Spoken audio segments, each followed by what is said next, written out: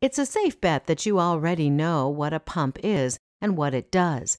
But what you may not know is that numerous pump types move fluids, and their construction and operation are dictated by the type of fluid they are moving.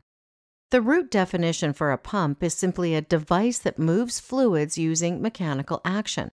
There are two types of pumps positive displacement and rotodynamic. Positive displacement pumps grab and go as a fixed amount of fluids captured by a rotor, gear, piston, or some other device that creates a void at the pump inlet. It is then mechanically moved, displaced, to the pump discharge. Displacement pumps provide a constant flow at a given speed regardless of the pressure in the system.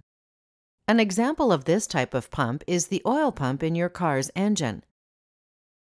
While positive displacement pumps are easy to understand, rotodynamic pumps are a bit less intuitive. Rotodynamic pumps throw and go by transferring kinetic energy to the water via rotation.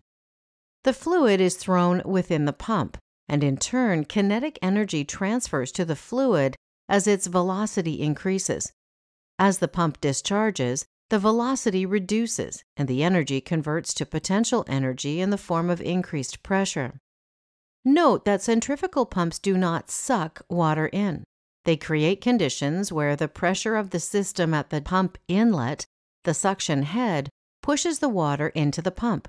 Specifically, as the fluid leaves the pump, system pressure at the pump inlet pushes fluid into the void left behind the discharged fluid.